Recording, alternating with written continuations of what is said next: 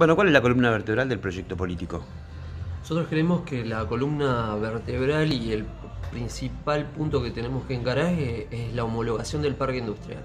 Todos hablan del desarrollo del parque industrial y nosotros creemos que estamos facultados y tenemos el conocimiento como para poder hacerlo. Esto no es sencillo ni es un trámite que se hace de un día para otro. No se hace de un día para otro, pero sí tenemos las herramientas como para hacerlo.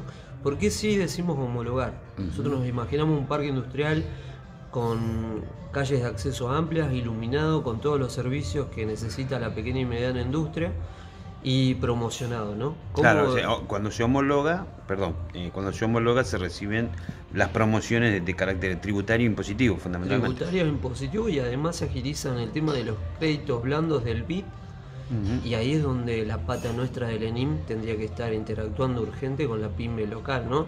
Nosotros queremos que la pyme local, la pequeña y mediana industria, es el motor de impulso de generar un cambio en esta localidad que está abandonada. ¿Hay algún trámite de homologación o ni siquiera se inició? Yo creo, no, yo por lo que tenemos entendido no se inició, solamente se designó un área como desarrollo del parque industrial.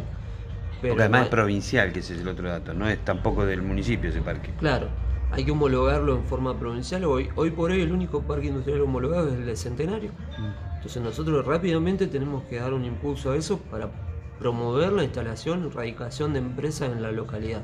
Bien, esa radicación surgiría a partir de los préstamos del BID, las diferenciaciones en, eh, impositivas fundamentalmente, diferimiento, todo lo que...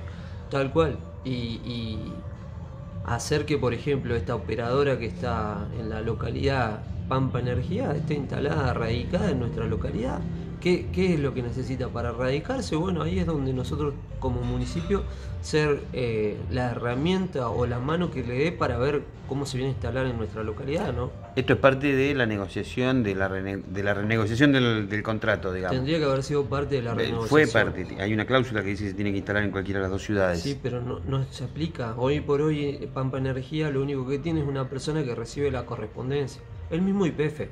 El mismo IPF tiene hoy en las en Octógono y en las áreas aledañas está viajando un colectivo de transporte de pasajeros de larga distancia todos los días de Neuquén acá. Que trae el personal y, trae el personal a realizar las tareas que, que, acá. Y en la localidad son cuatro camionetas las que levanta la gente. Entonces, 4 por 4 16 personas contra 40 que vienen desde Neuquén. Entonces, algo tenemos que hacer para que la gente se quede a vivir en la localidad. ¿Cómo?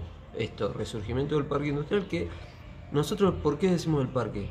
Porque esto nos va a traer de la mano el crecimiento de la localidad, el, gestionar para que haya una escuela terciaria más.